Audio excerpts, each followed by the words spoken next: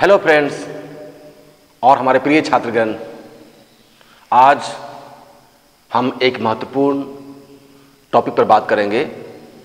जैसा कि आप इस वाइट बोर्ड पे दिख रहा है और वो हेडिंग है syllabus and strategy for JPSC mains examinations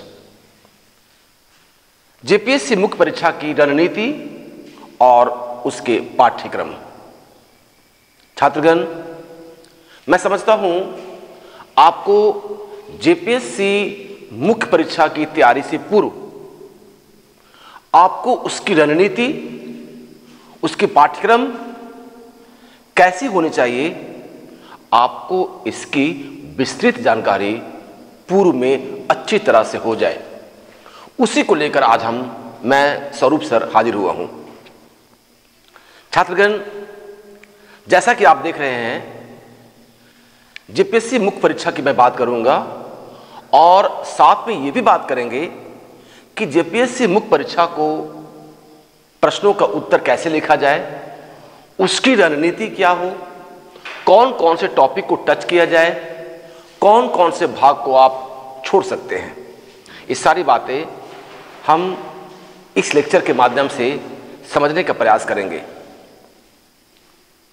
छात्रगण, दोस्तों, आपको सबसे पहले ये जानना है कि जेपीएससी का सिलेबस क्या है, कितना फुल मार्क्स है, हर एक पेपर में कितने कितने सेक्शन होते हैं, सारे सेक्शन का उत्तर लिखना है या नहीं लिखना है, या किसको छोड़ना है।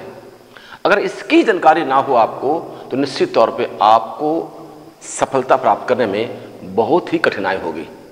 तो आज उसी कठिनाई को दूर करने के लिए मैं हाजिर हुआ हूँ। तो छात्रगण, सबसे पहले समझेंगे हम कि जेपीएससी की मुख्य परीक्षा की सिलेबस क्या है। तो छात्रगण जेपीएससी जो मुख्य परीक्षा होती है, वो JPSC one, two, three, four, five तक का सिलेबस अलग रहा। जेपीएससी सिक्स से का सिलेबस, वहाँ से जेपीएससी सिक्स से सिलेबस चेंज की गई। चेंज कैसे की गई? आप ये देखिए। जेपीएससी मुख्य परीक्षा में टोटल प्रश्न पत्र जो होंगे, वो छह होंगे, सिक्स पेपर होंगे। जैसे जेपीएससी मुख्य परीक्षा में जो पहला पेपर है, पेपर वन, उसके बाद paper two, paper third, paper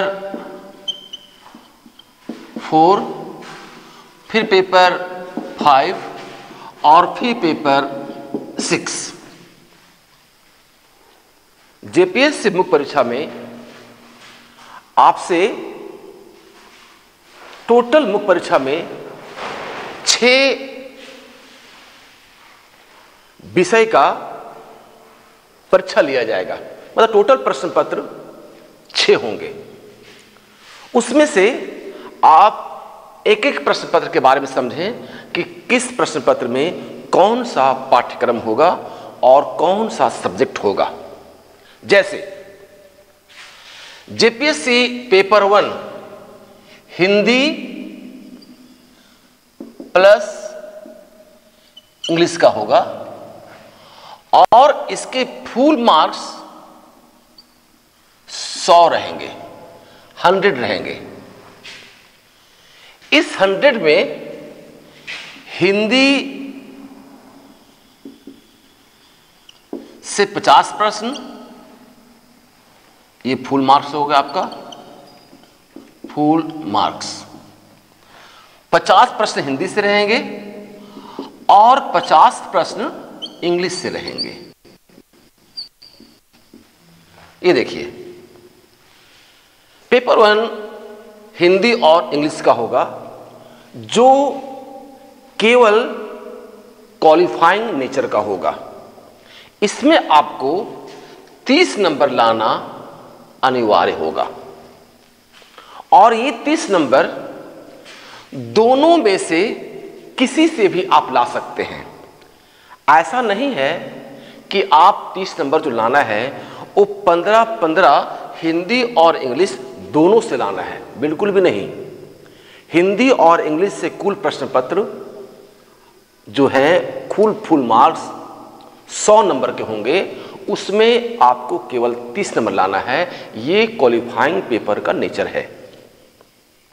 यद्यपि इस सिक्स जेपीएससी में इसकी मार्क्स जोड़ के मेरिट बनाई गई है, जो बहुत ही विवाद हुआ, जिसका अभी हाई कोर्ट, सुप्रीम कोर्ट में केस चल रहा है जेपीएससी पाँच तक क्वालिफाई पेपर को नहीं जोड़ा जाता था, लेकिन सिक्स जेपीएससी में क्वालिफाई पेपर को जोड़ दिया गया।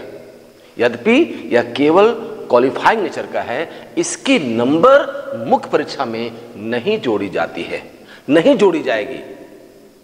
नो डाउट सिक्स में जोड़ दी गई है, बहुत विवाद हो गया, लेकिन याद रखें मैं समझता हूँ कि जब सेवन, एट, नाइन का जो फॉर्म आने वाला है, उसमें शायद इस क्वालिफाई पेपर पर मेंस में इसकी नंबर नहीं जोड़ी जाएगी।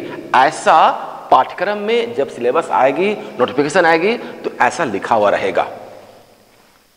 मतलब आपको ये मान के चलना है कि पेपर वन केवल क्वालिफाई है, आपको तीस नंबर लाना है हंड्रेड में और वो तीस नंबर, हिंदी इंग्लिश जोड़ के लाना है। आपको अलग अलग क्वालिफाई करने का कोई बाध्यता नहीं है। अब आप समझेंगे कि सर, इसमें आता है प्रश्न क्या है? इसमें हिंदी और इंग्लिश में आएगा क्या? तो हिंदी और इंग्लिश में।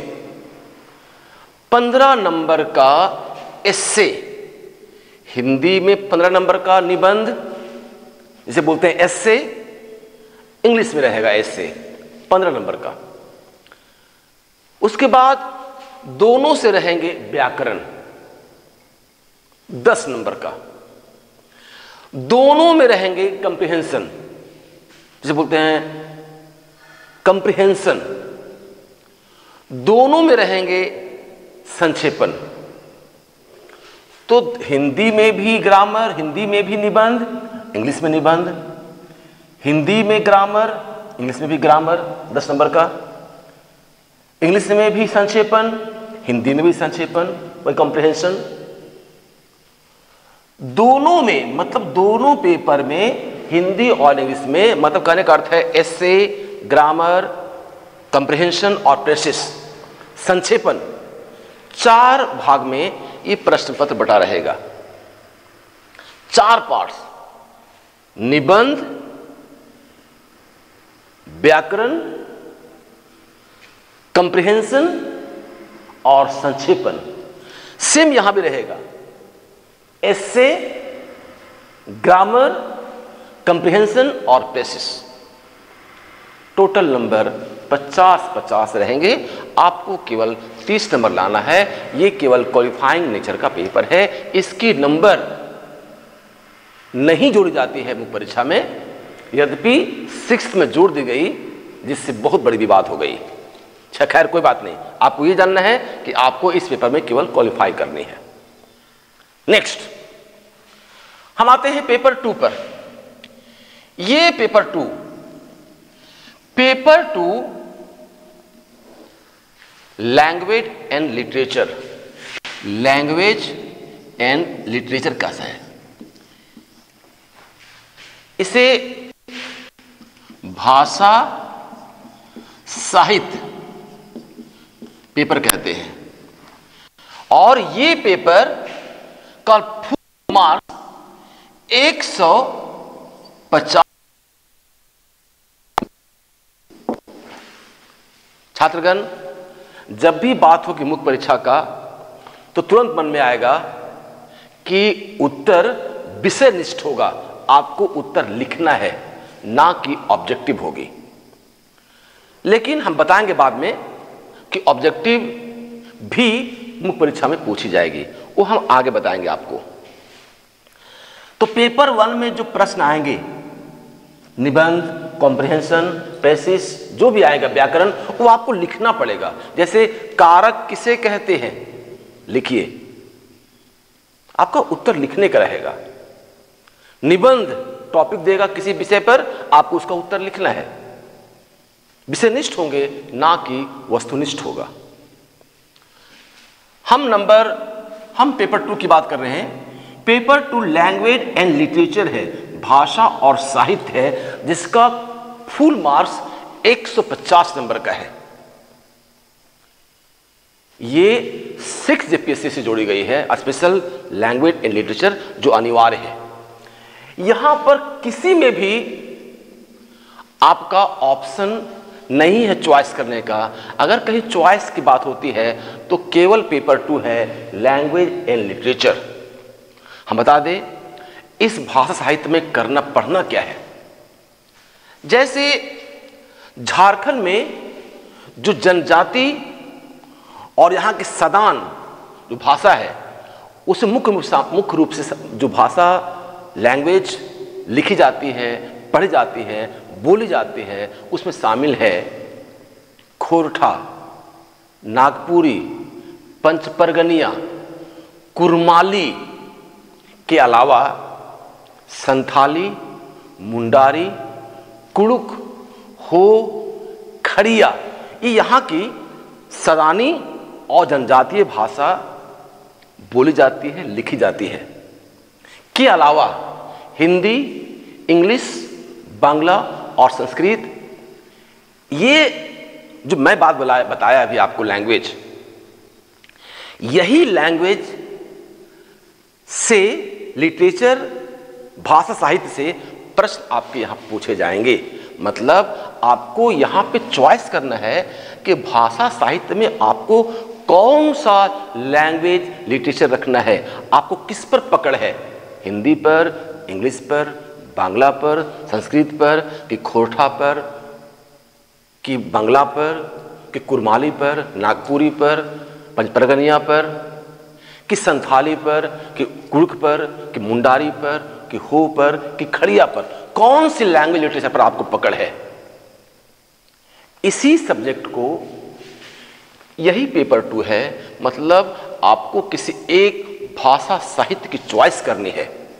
और उसी से 150 फूल मार्क्स का प्रश्न आपसे पूछा जाएगा, जिसका उत्तर आपको विस्तार पूर्वक लिखना होगा। छात्रगण,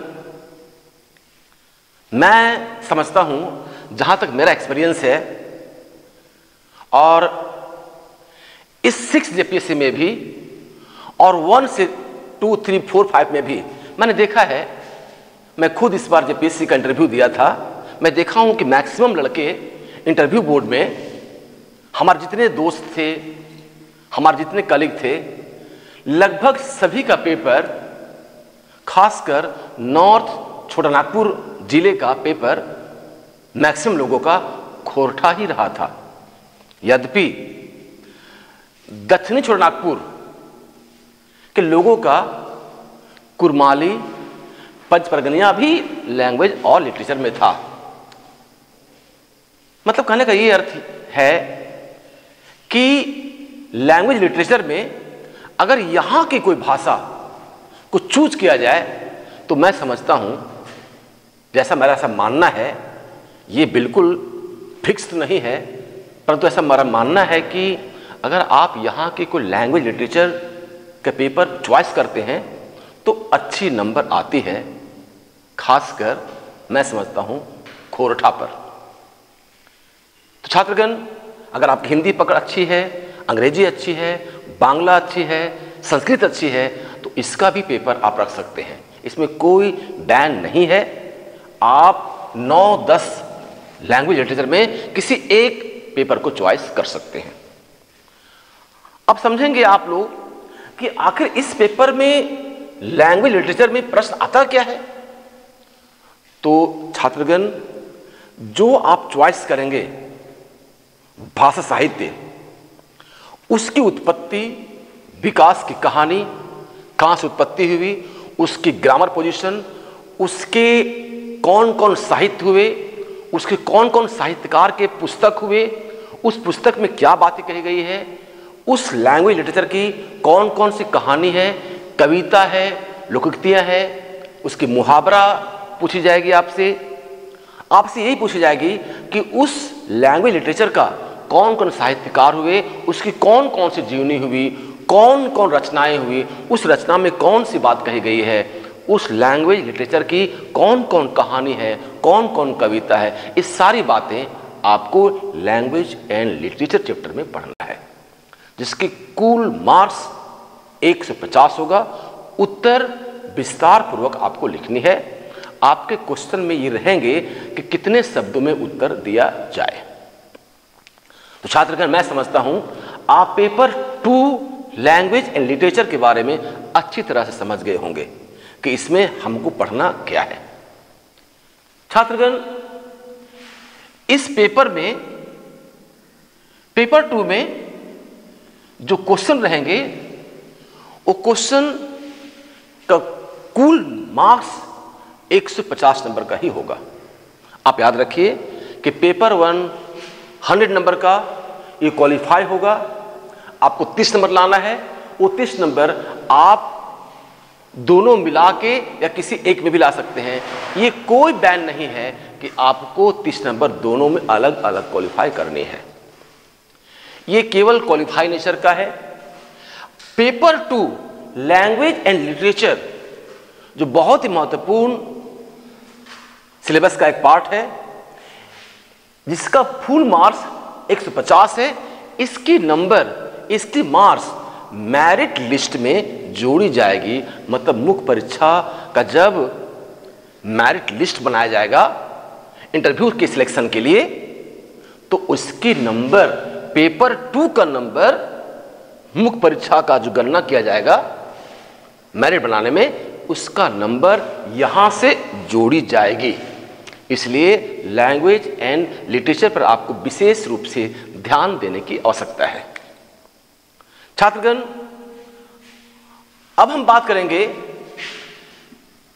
जेपीएससी मुख्य परीक्षा पेपर थर्ड का। ये पेपर थर्ड कुल मार्क्स 200 नंबर का होगा 200 मार्क्स। और इस पेपर में, पेपर थर्ड में आपको पढ़ना है सोशल साइंस। सोशल साइंस, जिसे बोलते हिंदी में सामाजिक विज्ञान।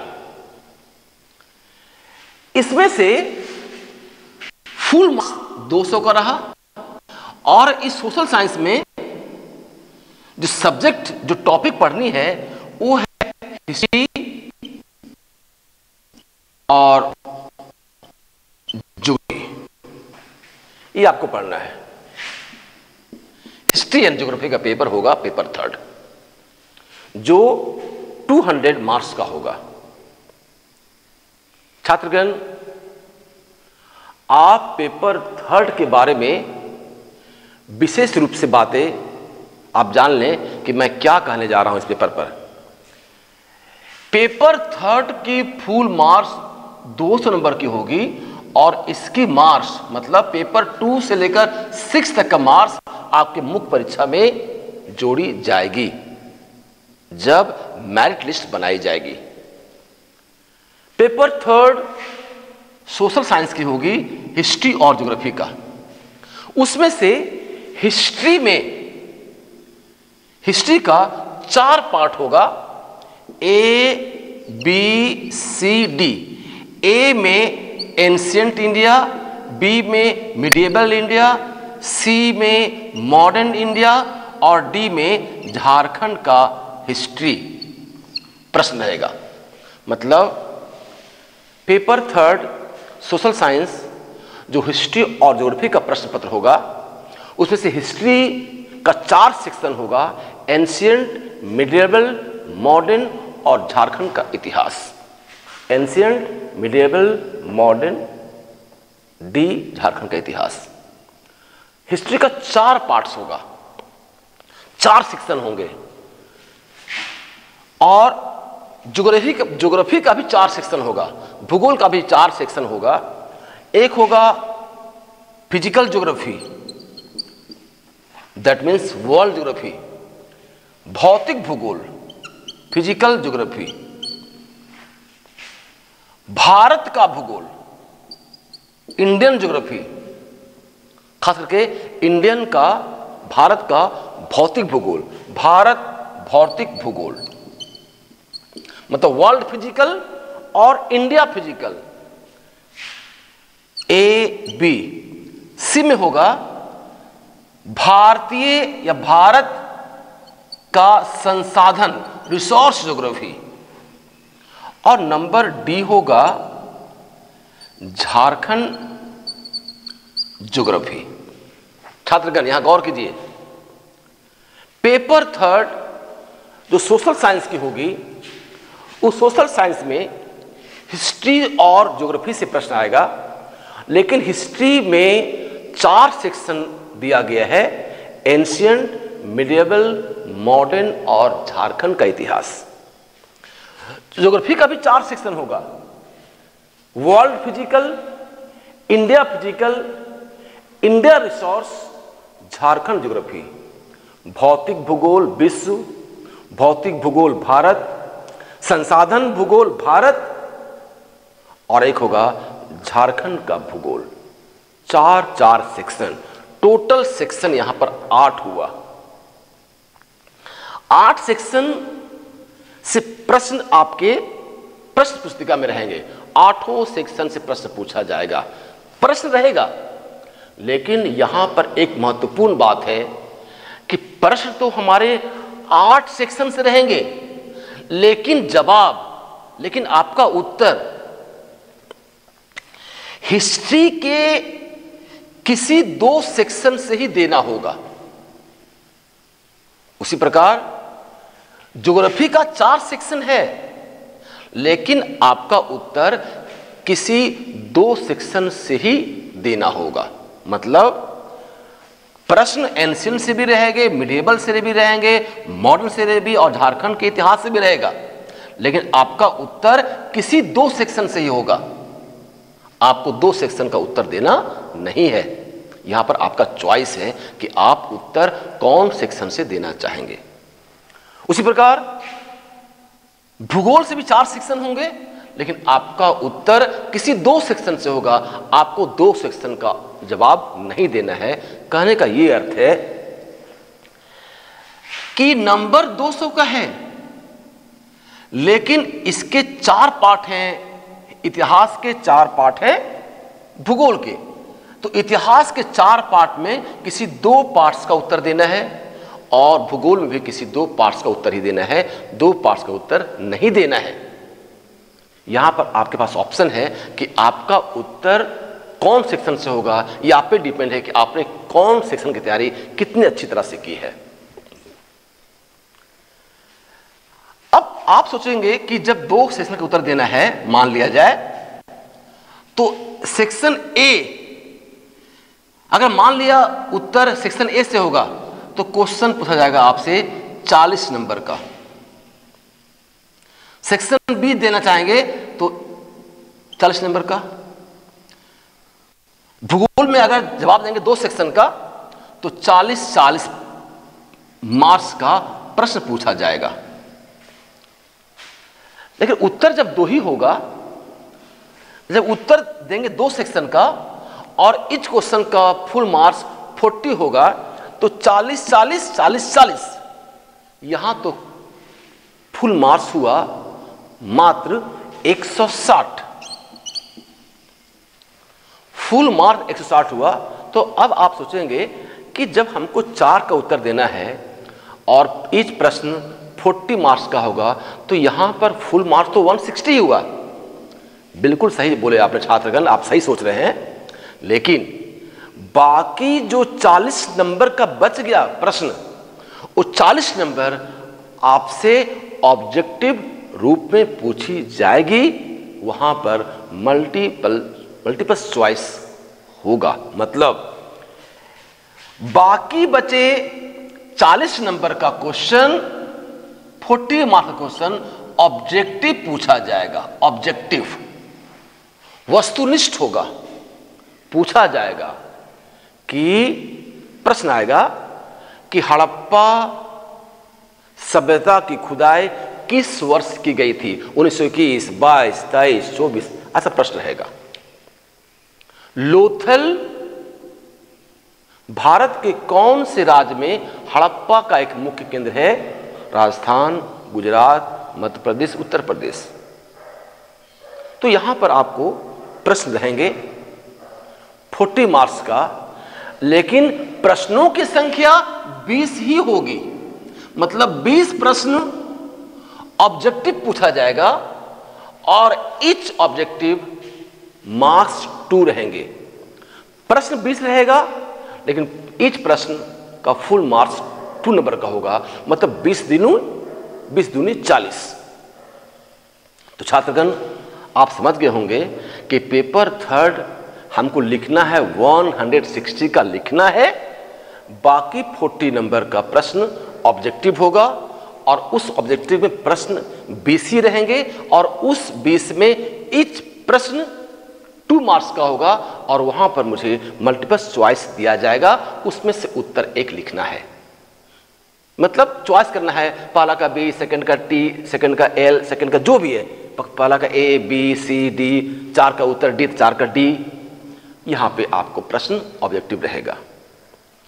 लेकिन छात्रगण, एक महत्वपूर्ण बात है कि हिस्ट्री का चार सेक्शन ज्योग्राफी का चार सेक्शन उत्तर किसी दो सेक्शन से देना है।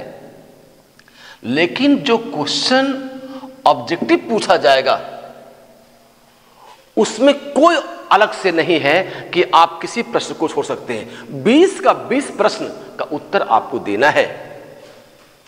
और वो 20 प्रश्न संपूर्ण पाठ्यक्रम से रहेंगे। मतलब यहाँ पर चॉइस है कि आप किसी दो दो सेक्शन का ही उत्तर दे सकते हैं। लेकिन ये जो क्वेश्चन रहेगा 20 नंबर का ऑब्जेक्टिव 40 नंबर का जो क्वेश्चन होगा क्वेश्चन 20 होगा फुल मार्क्स चालीस होगा वो संपूर्ण सिलेबस से रहेगी। तो आप समझ गए होंगे कि पेपर थर्ड में मुझे कौन कौन सेक्शन का चॉइस है कौन कौन सेक्शन का उत्तर हम दे सकते हैं, और इसमें क्वेश्चन ऑब्जेक्टिव सब्जेक्टिव दोनों है। 40 मार्क्स का क्वेश्चन ऑब्जेक्टिव होगा, संख्या 20 होगा, और चार प्रश्न का उत्तर अलग से देना है। किसी चार सेक्शन से, दो सेक्शन हिस्ट्री से, दो सेक्शन ज्योग्राफी से 160 का उत्तर लिखना है और बाकी 40 का मुझे वस्तुनिष्ठ के रूप में जवाब देना है। ओके छात्रगण, अब हम आते हैं पेपर फोर पे। पेपर जो फोर है, वो है ये पेपर फोर टू हंड्रेड का है और ये पेपर फोर में आपको इंडियन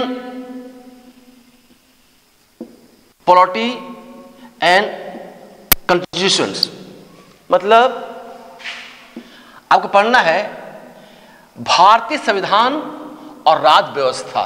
भारतीय संविधान, राज व्यवस्था लोक प्रशासन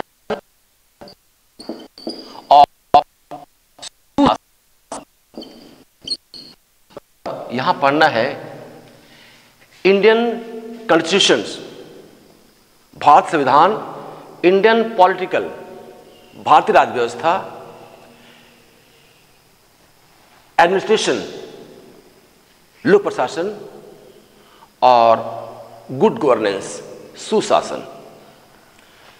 पेपर फोर का नाम दिया गया है, भारतीय संविधान राज्य व्यवस्था, लोक प्रशासन और सुशासन। गुड गवर्नेंस मतलब एक तरह से देखा जाए तो इंडियन पॉलिटिकल ये राजनीतिक शास्त्र का विषय होगा पेपर फोर और ये पेपर फोर दो सेक्शन में बटा हुआ होगा, दो सेक्शन में। जैसे भारतीय संविधान और राज व्यवस्था सेक्शन ए और लोक प्रशासन और गुड गवर्नेंस सेक्शन बी दो सेक्शन में बटा होगा। और उस दो सेक्शन से। यहाँ पे सेक्शन ए में प्रश्न, चार प्रश्न यहाँ से, चार प्रश्न यहाँ। सेक्शन ए से चार प्रश्न, सेक्शन बी से चार प्रश्न रहेंगे। चार चार प्रश्न रहेंगे। उस चार चार में आपको दो दो प्रश्नों का उत्तर देना है। दो दो मतलब यहाँ से भी दो, यहाँ से भी दो। चालीस नंबर चालीस नंबर चालीस नंबर चालीस नंबर। तो चालीस चालीस चालीस चालीस, एक सौ साठ। बाकी चालीस नंबर जो बच गया, उससे पुनः आपसे ऑब्जेक्टिव प्रश्न पूछा जाएगा, जिसकी संख्या 20 होगी, वस्तुनिष्ठ होगा मल्टीपल चॉइस होगा जिसका कुल नंबर 40 होगा इच क्वेश्चन 20 मार्क्स मतलब पेपर फोर दो भाग में बटा होगा। ए भाग में भारतीय संविधान और आज व्यवस्था से प्रश्न रहेगा, चार प्रश्न रहेंगे। आप किसी दो का उत्तर देना है, चालीस चालीस नंबर का। गुड गवर्नेंस और एडमिनिस्ट्रेशन से चार प्रश्न रहेंगे। इससे भी चालीस चालीस का दो उत्तर देना है। 160 नंबर का प्रश्न का उत्तर लिखना है। शेष जो 40 बच गया, उस 40 प्रश्न का 20 प्रश्नों में, उस 40 मार्क्स का 20 प्रश्नों के रूप में आपको ऑब्जेक्टिव क्वेश्चन का उत्तर देना होगा। छात्रगण, ये भी आप अच्छी तरह समझ गए होंगे। यहाँ पर जैसे पेपर थर्ड में सी डी किसी दो में ही उत्तर देना है। आप दो सेक्शन को पूरी तरह छोड़ सकते हैं। यहाँ पर कोई सेक्शन को आप नहीं छोड़ सकते। सेक्शन ए से भी जवाब देना है और सेक्शन बी से भी जवाब देना है। आपके पास अलग से और कोई सेक्शन नहीं है जिसका, जिस सेक्शन को आप छोड़ सकते हैं। सेक्शन ए का भी उत्तर देना है और सेक्शन बी का भी उत्तर देना अनिवार्य है। ओके छात्रगण, अब हम बात करेंगे पेपर फाइव और फिर पेपर सिक्स। तो यहाँ देखिए कि पेपर जो फाइव है और जो पेपर सिक्स है तो पेपर फाइव और पेपर सिक्स, पेपर जो फाइव है वो है इंडियन इकोनॉमिक्स ये इकोनॉमिक्स का पेपर है। और इसकी कुल 200 है। 200 मार्क्स का इसे पेपर है। 200 नंबर का। इस इंडियन इकोनॉमिक्स में जो क्वेश्चन है, वो विभिन्न सेक्शन में, section A B C D में बटा हुआ है। ए बी सी डी जैसे Indian economics globalisation sustainable development इस सारी बातें से पढ़नी है। भारतीय संविधान, वैश्वीकरण, संसाधन, नाम से पेपर फाइव होगा और ये पेपर फाइव आपके चार सेक्शन में बटे होंगे, फोर सेक्शन में, और वो चारों सेक्शन से प्रश्न आपका उत्तर देना होगा। छात्रगण जो सेक्शन ए होगा, वो कंप्लीट नाम दिया गया है भारतीय अर्थव्यवस्था के आधारभूत लक्षण। जो पेपर जो सेक्शन बी होगा, उसका नाम दिया गया है भारतीय विकास की रणनीति, भारतीय अर्थव्यवस्था के विकास की रणनीति। जो सी चैप्टर है, जो जो सेक्शन सी है, उसका नाम दिया गया है आर्थिक सुधार। और जो सेक्शन डी है, वो दिया गया है झारखंड की अर्थव्यवस्था। छात्रगण इकोनॉमिक्स का Indian economics globalisation sustainable development का जो प्रश्न होगा पेपर फाइव पेपर फिफ्थ जो दो नंबर का होगा, ये चार सेक्शन में बटा होगा। और प्रत्येक सेक्शन से प्रश्न रहेगा सब सेक्शन से आपको 40-40 नंबर का जवाब देना अनिवार्य होगा। लेकिन सेक्शन जो इकोनॉमिक्स का डी सेक्शन होगा, वो झारखंड की अर्थव्यवस्था पर प्रश्न रहेंगे, सेक्शन डी। झारखंड की अर्थव्यवस्था का प्रश्न रहेगा। मतलब कहने का यह अर्थ है कि इंडियन इकोनॉमिक्स के चार सेक्शन हैं और चार सेक्शन से, सभी सेक्शन से प्रश्न क्वेश्चन रहेंगे। सेक्शन ए से दो प्रश्न, सेक्शन बी से दो, सेक्शन सी से दो, सेक्शन डी से दो। और सभी सेक्शन में से एक एक का जवाब देना अनिवार्य होगा। ऐसा नहीं कर सकते हैं आप लोग कि सेक्शन ए और बी से ही चार क्वेश्चन को आप अटेम्प्ट कर लिए। बिल्कुल नहीं। आपको चारों सेक्शन से एक एक चालीस चालीस नंबर का क्वेश्चन आपको अटेम्प्ट करना है, लिखना है। शेष जो बच गया, चालीस नंबर का, वो चालीस नंबर जो प्रश्न, जो बच गया मार्क्स, वो मार्क्स 20 नंबर का पुनः यहाँ पे ऑब्जेक्टिव प्रश्न पूछा जाएगा, जिसकी कुल मार्क्स 40 होगा ईच क्वेश्चन टू मार्क्स होगा। यहाँ पर भी 20 प्रश्न वस्तुनिष्ठ होगा और 160 का विषय निष्ठ होगा। आपको उसका उत्तर लिखना होगा। ओके छात्रगण, लेकिन इकोनॉमिक्स का जो सेक्शन डी होगा, वो भारतीय, वो झारखंड की अर्थव्यवस्था का प्रश्न रहेगा। यहाँ पर ए बी सी डी सभी से प्रश्न उत्तर देना है, प्रश्नों को उत्तर देना है। किसी सेक्शन को आप नहीं छोड़ सकते। जबकि, याद रखा जाए, अगर कहीं सेक्शन छोड़ने की बात होती है तो केवल और केवल पेपर थर्ड है। नेक्स्ट हम आते हैं पेपर सिक्स पर। यह है science and technology science and tech और ये साइंस एंड टेक जो प्रश्न है, ओ, A, B, C, D, E section में बटा होगा।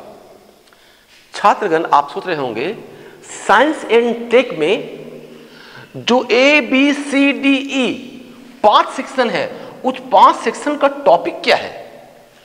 तो जो सेक्शन ए है, वो फिजिक्स है। सेक्शन बी बायोलॉजी है। सेक्शन सी एग्रीकल्चर साइंस है। Agriculture science.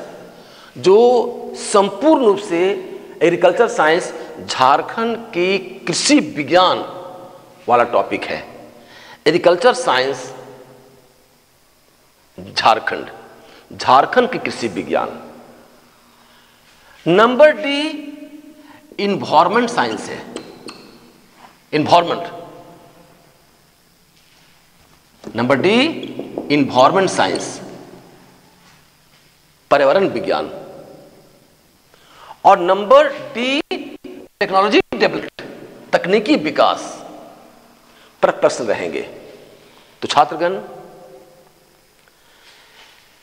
Paper six science tech का होगा। जो पाँच भागों में बटी होगी ए B C D E A में फिजिक्स बी में बायोलॉजी सी में एग्रीकल्चर साइंस डी में डी में इन्वायरमेंट साइंस पर्यावरण विज्ञान और ई में तकनीकी विकास पर प्रश्न रहेंगे। और प्रत्येक खंड से सॉरी ऐसा नहीं है, आप ये ना सोचें कि यहाँ पर section A B C D E है। सेक्शन पाँच है। लग रहा है किसी का यहाँ भी सेक्शन छोड़ना होगा। बिल्कुल नहीं। आपको प्रत्येक सेक्शन से, प्रत्येक भाग से उत्तर देना है। प्रत्येक सेक्शन में दो दो दो दो प्रश्न रहेंगे और सभी में से एक एक एक एक एक। प्रश्नों का उत्तर देना है। इच सेक्शन 32 नंबर का होगा। 32 नंबर का होगा। इस सेक्शन 32 नंबर 32 32 32 32 एक, दो, तीन, चार, पाँच। 32 नंबर का इच सेक्शन का उत्तर देना होगा। 32 मार्क्स का क्वेश्चन रहेगा। और 32 32 का क्वेश्चन का जवाब देना है। ई नंबर तक। कुल मार्क्स हो गया आपका। 160 बत्तीस मल्टीपल पाँच, बत्तीस गुना पाँच 160 फिर नंबर बच गया 40 मार्क्स। उस 40 मार्क्स का 20 प्रश्नों के रूप में आपको ऑब्जेक्टिव क्वेश्चन पूछे जाएँगे, जो फिजिक्स से होगा, बायोलॉजी से होगा, एग्रीकल्चर साइंस से होगा इन्वायरमेंट साइंस से होगा तकनीकी विकास से होगा। इन पाँचों से मिलाकर 20 प्रश्न बनाए जाएँगे और जो मल्टीपल चॉइस का प्रश्न होगा और यहाँ पे आपके ऑप्शन चार रहेंगे। उस चार में उसका एक उत्तर लिखना है। बाकी जो 32 32 नंबर का जवाब देना है, वह जवाब आपको विषयनिष्ठ, लिखित रूप से विस्तार पूर्वक देना है। आपका कौन सा प्रश्न का उत्तर कितना शब्दों में देना है। इसका उत्तर, इसका प्रश्न आपसे प्रश्न के बगल में ही लिखा रहेगा कि इसका जवाब कितने शब्दों में दिया जाए। तो छात्रगण, मैं समझता हूँ, आज आप पेपर वन से सिक्स तक तो आप गौर कीजिए 150 200 paper, two 150 paper third 200 four 200 fifth 200 six 200 तो दो, चार छ आठ और ये डेढ़ सौ। मुख्य परीक्षा का एग्ज़ाम, साढ़े नौ सौ का एग्ज़ाम एग्ज़ाम जो होगा, पेपर टू से लेकर सिक्स तक। इस साढ़े नौ सौ हुआ, इसकी गणना मेरिट बनाने में की जाएगी। यद्यपि एग्ज़ाम जो होगा, साढ़े दस सौ नंबर का होगा। दस पचास नंबर का एग्ज़ाम होगा। परंतु जब मैरिट बनाई जाएगी तो पेपर टू से दैट मीन्स साढ़े नौ सौ पर मैरिट बनाई जाएगी। यद्यपि एग्ज़ाम साढ़े दस सौ तक होगी, लेकिन पेपर वन केवल क्वालिफाई होगा। मैं फिर बता दूँ, यद्यपि इस बार जोड़कर बड़ा ही विवाद का विषय आ गया है। छात्रगण उसके अलावा जब आप पेपर टू से लेकर सिक्स तक का आप मेरिट में आ जाते हैं तो नो डाउट इसके बाद अलग से सौ नंबर का आपसे वाइवा इंटरव्यू लिया जाएगा। मात्र सौ नंबर का है। आप गौर कीजिए, मात्र हंड्रेड मार्क्स का इंटरव्यू है। स्पष्ट हो गया कि इंटरव्यू का जो मार्क्स है, उसका इंपॉर्टेंस ज़्यादा नहीं है। क्योंकि अगर ये इंटरव्यू का मार्क्स रहता 300 नंबर का 200 नंबर का तो इसकी खूब वैल्यू होती। मतलब ये कहना चाह रहे छात्रगण, आप अगर मुख्य परीक्षा में ही नंबर बहुत ज़्यादा ले आते हैं इंटरव्यू में नंबर कम भी देता है, तब भी आपका सिलेक्शन होगा। चाहे वो नंबर 40 दे दे या 30 दे दे, क्योंकि न्यूनतम मार्क्स की बाध्यता खत्म कर दी गई है झारखंड में। कि आपको 100 में इतना नंबर लाना ही है, ऐसी कोई बाध्यता नहीं है। मतलब एक महत्वपूर्ण रणनीति बनाइए आप लोग कि आप मुख्य परीक्षा में ही इतना अच्छा नंबर ले आए कि इंटरव्यू में नंबर 20 दे 40 दे 50 दे या 30 दे हमारा सिलेक्शन होगा, क्योंकि मैं मुख्य परीक्षा में इतना अच्छा नंबर लाया हूँ। क्योंकि इंटरव्यू तो मात्र सौ नंबर का है। इससे एक बात ज़ाहिर होती है कि अगर यहाँ नंबर कम पड़ गया मुख्य परीक्षा में तो यहाँ नंबर अधिक आने के बाद भी आपका सिलेक्शन नहीं होने की संभावना है। अच्छा नंबर आने के बाद भी सिलेक्शन शायद नहीं हो। लेकिन अगर यहाँ मार्क्स अच्छा आ जाए तो यहाँ कम भी आए इंटरव्यू में, तब तब भी आपका सिलेक्शन होना 110 परसेंट फिक्स है। तो छात्रगण, एक महत्वपूर्ण रणनीति है। मैं समझता हूँ, जब भी आप प्रश्न का उत्तर लिखें, विषय निष्ठ, लिखित में तो प्रयास करें, एक मन में उत्तर लिखते जाएँ। लिखने के बाद एक मन में अपने आप एक डायग्राम बना लें कि उसका उत्तर को डायग्राम के माध्यम से कैसे इंटरप्रेट कर सकते हैं। कैसे हम एग्जामिनर को दर्शा सकते हैं कि इस उत्तर को इस मैप के सहारे ऐसे भी बताई जा सकती है। एक ड्राइंग कीजिए। उस मैप के सहारे अपने आप एक डायग्राम क्रिएट कीजिए और उस डायग्राम के माध्यम से उत्तर लिखने के दौरान, बीच में या उत्तर लिखने के अंत में तुरंत एक डायग्राम बनाएँ और डायग्राम के माध्यम से उत्तर की व्याख्या को दर्शाएँ। जैसे आप दिखाएँगे internal structure of the earth, पृथ्वी की आंतरिक संरचना। तो जैसे ही लिखेंगे आंतरिक संरचना जैसे लिखेंगे आंतरिक संरचना तुरंत इंटरनल स्ट्रक्चर अर्थ का एक डायग्राम बनाइए और उसको दर्शाइए आप पढ़ेंगे राष्ट्रपति के कार्य। राष्ट्रपति के क्या क्या कार्य हैं? उसकी, उनकी क्या सीमाएँ हैं? तो लिखने के बाद एक डायग्राम बना दिए कि राष्ट्रपति, ये सीमा, ये उनका वर्क को दिखा दिया एक डायग्राम के माध्यम से। ऐसा लिखने से आपका उत्तर अन्य से अलग होगा। अलग दिखेगा। आपके मार्क्स अन्य से ज़्यादा होने की संभावना दिखेगी। अलग से उत्तर दिखेगा। ऐसा डायग्राम आप देते हैं तो आपके उत्तर अच्छी मानी जाएगी। आपके नंबर अच्छे आएँगे। छात्रगण, मैं आपको यही बता दूँ कि इच पेपर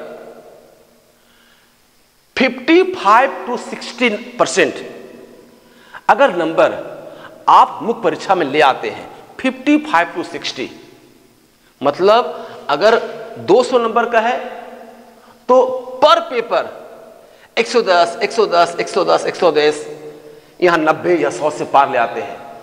मतलब 200 में 110 55 मार्क्स अगर आप ला के आगे बढ़ते हैं तो आपका सिलेक्शन 110 परसेंट फिक्स है। मतलब 55 प्रतिशत नंबर ले आते हैं मेंस में, औसतन। तो आप इंटरव्यू के लिए क्वालिफाई कर जाएँगे। ऐसा अभी तक ऐसा ही ट्रेंड देखी गई है। तो छात्रगण, मैं प्रयास किया कि जेपीएससी की सिलेबस क्या है? रणनीति आपको कैसी बनानी चाहिए, उत्तर कैसे लिखा जाए, कौन सेक्शन छोड़ी जाती है, किसकी जवाब दी जाती है, आपने ये देखा। छात्रगण, जब भी प्रश्न पेपर टू से लेकर सिक्स तक, अगर प्रश्न कोई झारखंड से रिलेटेड अगर आ जाए तो आप उसका उत्तर ज़रूर लिखने का प्रयास करें। अगर आप प्रश्न झारखंड का प्रश्न अगर टच करते हैं तो आपका नंबर मैं समझता हूँ अच्छा आएगा अच्छा आता ही है। तो प्रश्न प्रयास करें कि पेपर टू से सिक्स तक में अगर झारखंड से प्रश्न आ जाएगा तो उसका उत्तर आप ज़रूर लिखने का प्रयास करें।